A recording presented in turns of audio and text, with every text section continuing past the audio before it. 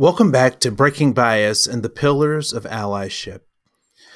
My name is Andre Koen. I would say thank you so much for joining us, and uh, we'll get right into this. So there are uh, the, the, the four pillars that we've been focusing on in these last units: uh, breaking bias, historic and systemic oppression, examining privilege, and finally wielding power. And so when we think about how do we use power, right? So, how do we use power and what is power? Well, we know that power is the ability to get things done or the ability to do work. And it comes in two forms there is kinetic uh, power that is being used, and there is potential power, right? So, there's a potential power. And so, what we want you to do is to be able to start thinking about how do you use or convert your potential energy into kinetic energy? How do you use your power? Because that's more important than whether you have power or not, because we all have uh, the, the ability to get things done. It is just uh, aligning those with our intentions and with our goals that that makes that important. And so when we think about this using power, I want to go to this slide deck and, and go back to talking about our blind spots, right? So we, we, we've already identified that we have blind spots. Um, and so we'd like to use this car metaphor to kind of carry this out a little further. So, in, in terms of using your power, what might you want to do or need to do to illuminate your blind spots you in terms of using your your power. And so uh, what we know is that the, the, this particular car has blind spots all over the place in the front on the sides um, where the you know the sides of the shoulders and the back. The whole thing is a blind spot.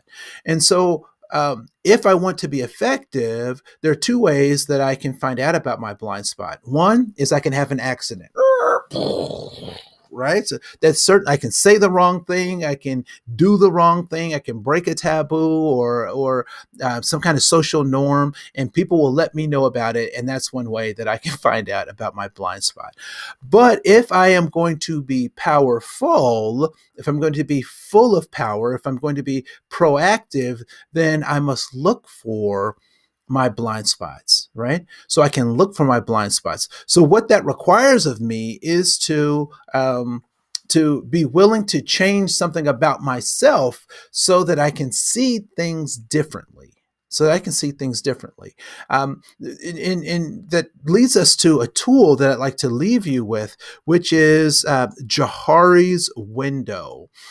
And in Johari's window, there are things that are known to me that are unknown to others, and that's the open and free area.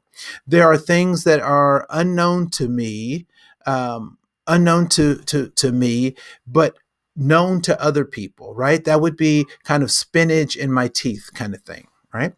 Um, quadrant three, there are things that are unknown to me and unknown to other people. And this is kind of those hidden areas. And then lastly, there are things that are unknown to me and unknown to others. And this is where really I like to think about this blind spot existing, right? So this unconscious bias.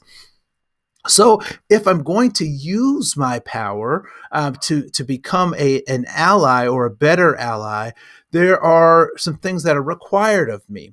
The, the primary thing that's required of me is that I be humble, that I, I use the, the, the, the virtue of humility.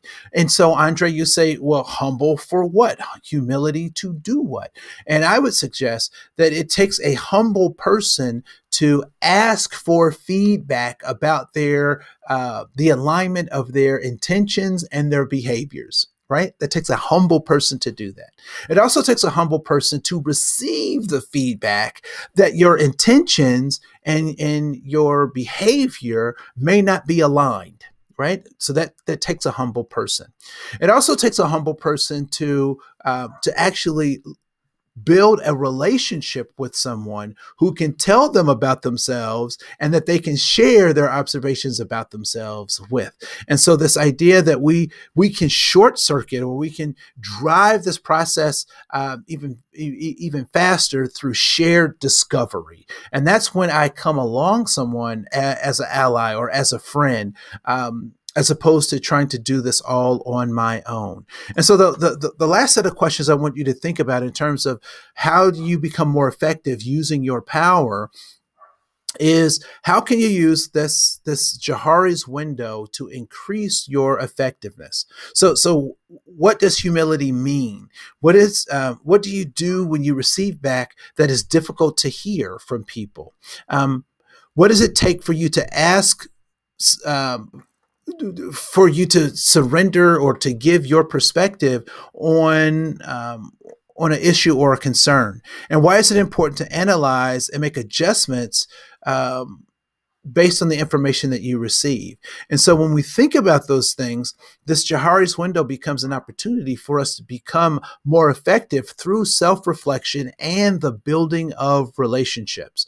And so, with that, I want to say thank you so much for uh, joining us in this course. Uh, I hope that you found uh, the the resources, the the mini lectures uh, helpful as we uh, seek to become more effective. And so I want again I want to say thank you so much for for joining us for your time and I look forward to seeing you, who you become. This is Andre Koen and we'll see you in uh, one of our next sessions. Thanks. Bye.